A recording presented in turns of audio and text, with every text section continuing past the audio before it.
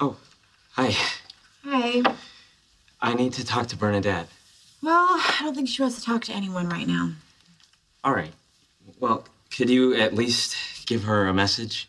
Yeah, sure, I guess. Tell her I'm really sorry, and if she doesn't want to marry me, I get it, but what I really want her to know is that the guy that she's disgusted by is the guy that I'm disgusted by too, but that guy doesn't exist anymore. He's gone. And the reason is because of her. So if this relationship is over, let her know that she made me a better man and tell her thank you. Oh my god, Howard. That's the most beautiful thing I've ever heard.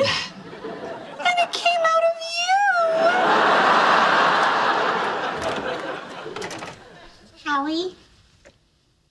Penny has a message for you. I heard. Your voice, not unlike your mother's, travels through walls. Do you want me to go? No. Come here.